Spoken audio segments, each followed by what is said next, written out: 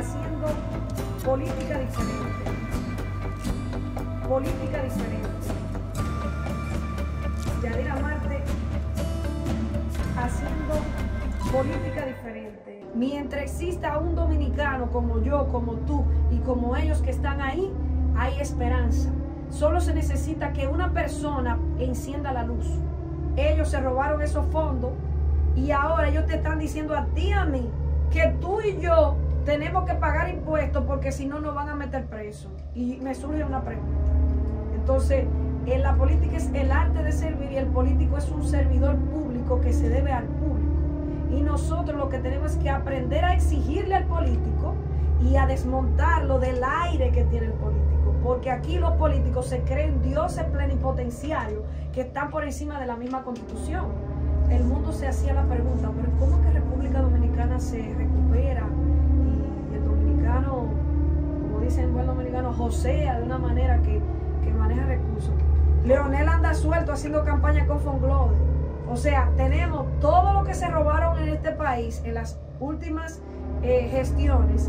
Esas personas se quedó con qué hacerle dos plantas a la República Dominicana con aire acondicionado, como dice Roque. No, que yo no voy a votar, porque yo no creo en política, los políticos son todos iguales. ¿Qué, qué mensaje usted le mandaría a esas personas que no quieren votar ya, porque no creen en los políticos, que no creen en la política? ¿Qué mensaje usted le mandaría a esas personas?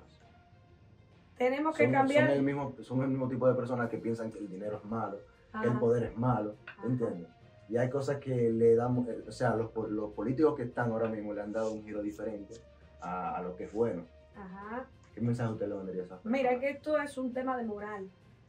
Y eso es como cuando tú te comes algo que tú sabes que te hace daño, pero de igual forma te lo comes. Eso es un tema de moral.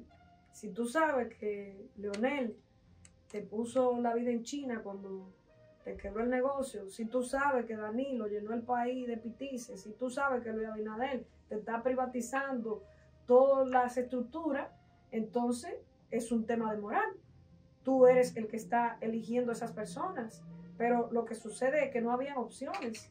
Ahora estamos poniendo un, un menú diferente dentro de las opciones existentes. No debes perder la fe. Y recuerda algo, eso no se trata de que la política es mala, no, la política es muy linda, es, es el arte de servir a los demás. Y decían que quien no nació para servir, no nació para vivir.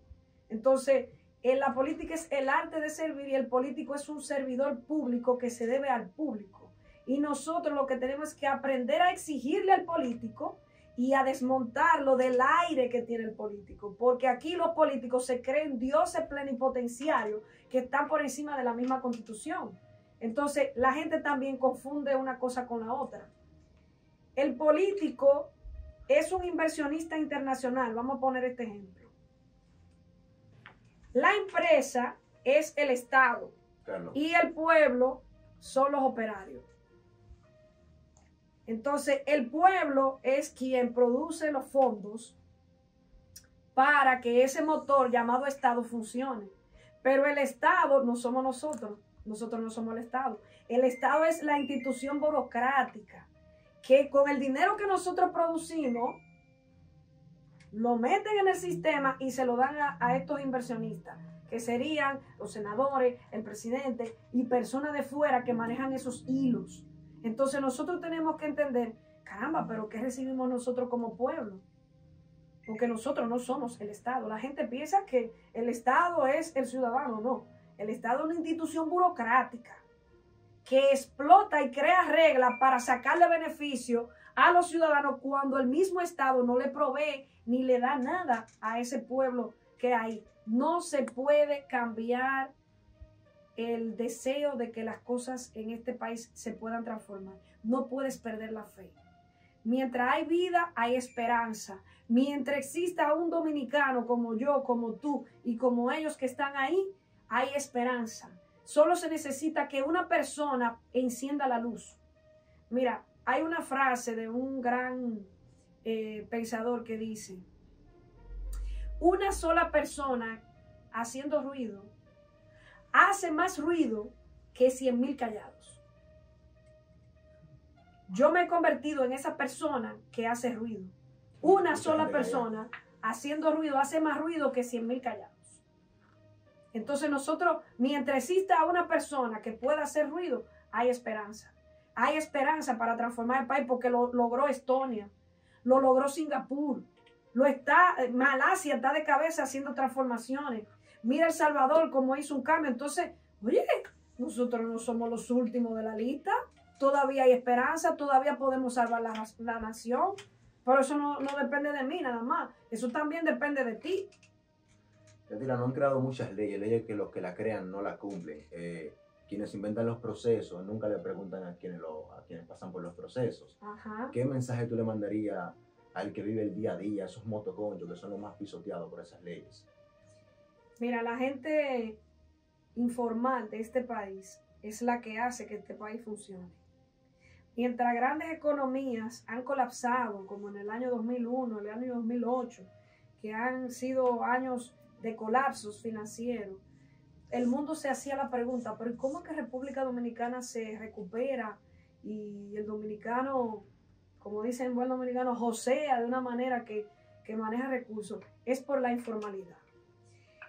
Las personas informales de este país, como motoconchos, como buhoneros, como vendedores de fruta, eh, las mujeres del salón, eh, el que tiene una cafetería, un carrito de hot dog, tiene que luchar por mantener esa estructura, porque el sistema que viene ahora con su Agenda 2030, el objetivo es digitalizar a todo el mundo de manera tal que todo sea manejado por ellos. Imagínate tú que hasta los carritos del aeropuerto ya lo privatizaron. A partir del 15 de marzo entró vigencia una ley que el carrito era gratis y ya ahora eso le pertenece a una, a una multinacional. Entonces todos los, los negocios informales, que los capitales son nuestros y que nosotros podemos comprar la casita, comprar la tierrita, comprar estas cosas, esos capitales ellos lo quieren privatizar para que una persona de otra nación invierta en eso y se lleve esos capitales para su Para país. que la gente entienda cuáles son esos negocios informales. Los negocios informales son lo que acabo de mencionar. O sea, tú tienes un negocio informal cuando tú no estás en el sistema de generar una factura con comprobante fiscal para tú transparentar ese bien o servicio que tú compras y vendes. Todo el que vive de la informalidad, o sea, el tipo que vende la fruta en el camión, el motoconcho, la señora del salón, el de la cafetería, el que tiene el carrito de hot dog, esos son negocios informales. No tienen una estructura contable, no manejan, eh, no están inscritos los empleados en la TCS, son cosas informales. Entonces, si el Estado a ti no te provee ningún medio, no te da un empleo digno, no te garantiza seguridad social, no te garantiza se- seguridad ciudadana, el Estado no puede perseguirte a ti para que tú dejes de ser informal, meterte una ley de factura digital obligatoria y meterte cinco años de cárcel cuando el Estado a ti no te está proveyendo nada. Estamos rayando en los ridículos, mientras los 35 del comité político del PLD andan sueltos. Leonel anda suelto haciendo campaña con Fonglode. O sea, tenemos todo lo que se robaron en este país en las últimas eh, gestiones. Esas personas se quedó con que hacerle dos plantas a la República Dominicana con aire acondicionado, como dice Roque, y sobra dinero. Ellos se robaron esos fondos y ahora ellos te están diciendo a ti a mí que tú y yo tenemos que pagar impuestos porque si no nos van a meter preso. Y me surge una pregunta. Bueno, los 14 mil puntos de droga que hay aquí en el país se jodieron. Porque si le van a meter factura digital, entonces todos esos puntos de droga, eh, quiero un gramo, déjame escribirle a la DGI para que me mande la factura. ¿Eh? No, porque al platanero lo van a obligar a eso. Claro. Entonces, si al platanero lo van a obligar, tú no me vas a decir a mí que tú tienes el punto de droga y la factura digital obligatoria no te va a aplicar a ti. Te tiene que aplicar. Claro que te tiene que aplicar, porque si le aplica la del salón, al de la cafetería, al de la yuca, al, al motoconcho y todo el mundo se tiene que formalizar, porque si no le van a meter cinco años de cárcel, los 14 mil puntos de droga que he registrado en el país, entonces tienen que entrar en ese mismo proceso, porque si no le van a poner cinco años de cárcel. O sea que si una persona tiene un salón y no paga una factura, le van a meter cinco años de cárcel. Sí, exacto. O sea, lo que quiere el Estado es que cuando yo me vaya al salón informal a lavarme la cabeza, de los 200 pesos que la muchacha se va a ganar, se va, te va a cobrar, hay 150 que son de los productos y de mano de obra. De los 50 pesos que la muchacha del salón se va a ganar, el Estado quiere que le paguen el 52% más el 18% de ese dinero. Que el Estado no está percibiendo ese dinero porque si no tú estás lavando dinero. Porque tú no le estás pagando ese dinero al Estado. ellos, ellos compran, cuando compran el producto pagan un impuesto. Exacto. Sí, pero ese no es el impuesto. Ellos quieren impuesto sobre la renta, que es el impuesto de las ganancias netas tuyas de tu negocio. O sea, tú te ganaste mil pesos ese día vendiendo los dogs. Tú de esos mil pesos gastaste 500 en el cachú, la mayonesa. De los 500 limpio, limpio, limpio que te quedaron, de esos 500 el gobierno quiere el 52%. 25% que pagas tú como persona física y 27% que debe pagar el negocio. O sea que desde que se, se, se elabora el producto y se detalla, o sea, quieren cobrarle también impuestos al a tu ganancia, a, tu ganancia, a la ganancia, esa ganancia que es que el informal ahora mismo no está pagando ese impuesto que se llama impuesto sobre la renta, de ese impuesto el Estado le va a caer encima eso, pero yo me pregunto que por qué no le ha caído encima al comité político del PLD. Porque ¿por qué no van a buscar todos esos millones que se robó el comité político del PLD y todos los fondos y todas las vainas de Leonel de Fonglode y todos los, escándalos de fraude que hay aquí? Más todo lo que se están robando los PRMistas, que se le declara una vaina de corrupción aquí, como la, la ministra de la Juventud, que salió en un acto de corrupción del Ministerio de la Juventud y la asignaron como cónsul en, en, en vaina en España. Es una locura. Yadira, ¿cómo se pueden reactivar todas las zonas francas que no están funcionando en este momento, que son una buena fuente de empleo? Mira, ahora mismo se está dando un fenómeno muy interesante. Y es que la economía global ha ido cambiando. Y dentro de ese mismo caos hay un beneficio. Y es que, por ejemplo, países como China, eh, vamos a decir, países de Europa que están invirtiendo muchísimo dinero en inteligencia artificial, el mismo Estados Unidos, hay un sinnúmero de negocios que para esos países van a ser infuncionales, que a nosotros nos va a beneficiar. ¿Por qué? Porque si las cuotas de producir ropa y de producir cosas electrónicas o asuntos médicos en otro país como, como China, por ejemplo, ya ese país se está enfocando en todo lo que tiene que ver con inteligencia artificial, el metaverso, la blockchain, eh, la energía cuántica y todas estas cosas, esos espacios que sobran de manufactura textil o de procesos eh, de ensamblaje van a pasar a países como los nuestros. Entonces eso hace que en cierto punto nuestro, nuestro eh, punto geográfico se convierta en un punto atractivo para que esas empresas vengan a instalarse en el país. Entonces, lo que puede ser malo se puede convertir en algo bueno si se hace una buena gestión de una eh, de la geopolítica internacional y se dejan de estar metiendo personas alcochadas ahí con cursitos de una semana para darle los cargos y empezamos a preparar un personal joven, capacitado en geopolítica internacional, que cuando vaya de cónsul a ese país, vaya de embajador, eso es como tú eres el presidente de la República Dominicana en ese país. Tú puedas atraer capitales y puedas atraer inversionistas a la República Dominicana para tú hacer crecer tu país. Que esa es la función de un embajador. Lo que pasa es que aquí eh, le dan el cargo a la sobrina de la vicepresidenta o a la hermana de la vicepresidenta, la asignan como embajadora en, Alemania, en, Suiza o en España la tipa cobra 50 mil dólares y se va a vivir para Miami. No puede hacer el trabajo. Edina, ¿cómo identificar a un político que te está hablando mentira en tu propia cara? Por ejemplo, en, en Valverde, en la política pasada, el PRM ofreció 20 eh, mil empleos. No, creo que 10 mil a 15 mil empleos ofrecieron. Diga, iban a ver un viaje de empleo a los jóvenes, que aquí hay jóvenes que van a ver este video, que me van a desmentir si estoy diciendo la verdad. ¿Entiendes? ¿Cómo te puede, puede uno detectar a un político que te está mintiendo? Para tú hacer eso tienes que saber matemática. Para tú detectar que un, que un político te está mintiendo, tú tienes que ser bueno en matemática. Porque la matemática desarrolla la lógica.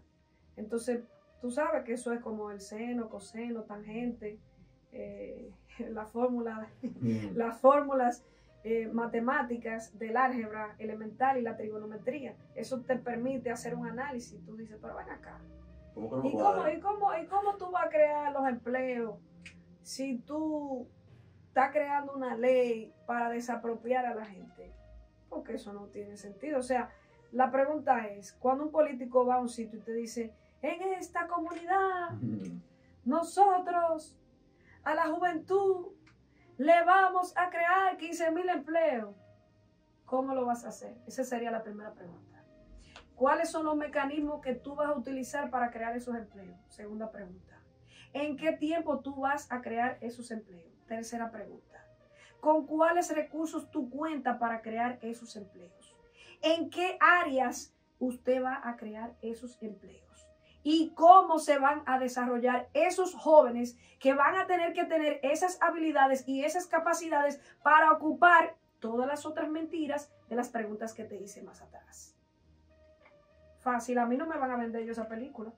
Eso es Mm. imposible que a mí me vendan eso, porque cuando tú me dices, yo voy a crear 20 mil empleos, yo te voy a decir, ¿en qué? ¿Cómo? ¿En qué tiempo? ¿De dónde van a salir los inversionistas? Porque los 15 mil empleos de Mao sería para los pitices que se lo crearon. Porque si tú dices, bueno, aquí tenemos 300 tareas de tierra que la vamos a sembrar de plátano porque llegaron cuatro empresas y la van a poner ahí a sembrar esos plátanos, entonces vamos a hacer 40 empacadoras y en esa empacadora vamos a necesitar 15 mil personas. Esa sería la respuesta a, a- hacerle la pregunta a un político que vaya a hacer eso. Entonces yo te estoy dando la respuesta cómo se conseguiría. Entonces, eso no es lo que tenemos. Yo solamente dice que van a crear empleo, pero tú te tienes que hacer la pregunta, ¿cómo lo vas a crear? Porque eso no es con la boca que tú lo vas a crear. Eso, eso viene de un proceso de inversión. Y el joven tiene que decir, ok, si van a crear 15 mil empleos, ¿en qué áreas? Porque los 15 mil empleos ellos no están diciendo cómo es. 15 mil empleos cargando guineo en una finca para los pitices. Ya te lo crearon los 15 mil empleos, pero tú no estabas, te lo dijeron, pero no te dijeron que tú ibas a participar. Hace mucho que le dijeron eso y no están No participando. Y no participando. se dieron cuenta que lo que iban a hacer era un cambio de, de- de gabinete, por decirlo así, un cambio de gobierno, un cambio de personas. ¿te Exacto. entiendes? Pero era, era los mismos puestos que iban a estar ahí y iban a crear más empleo. Y al final está la misma gente, porque ni siquiera metieron gente nueva. O sea, hay gente que se quedaron, lan, lan, que no están recibiendo nada, ningún empleo. Claro que Se sí. quedaron o sea, yo detecto cuando una persona viene a mentirme, yo lo detecto de una vez. Por ejemplo, tiempo atrás, hace ya un par de semanas, una persona que está aspirando, ganó, no voy a mencionar nombre, pero él vino como a hacerme política.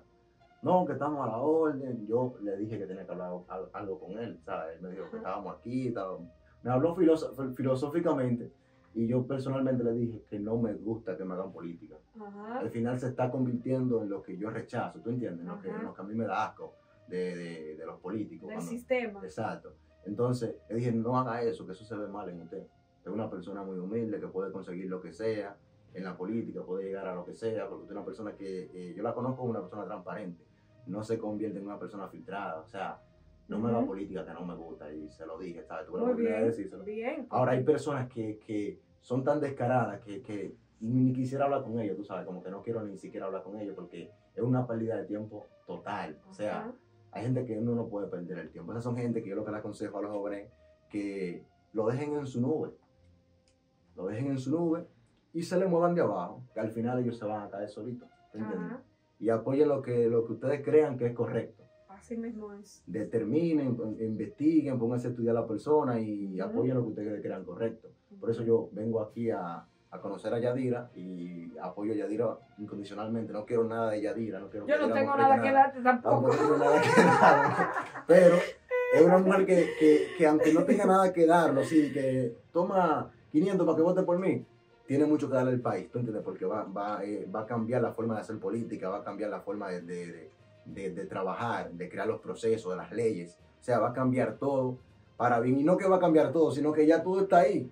Si no va a ser que se cumplan las cosas Exacto. tienen que cumplirse.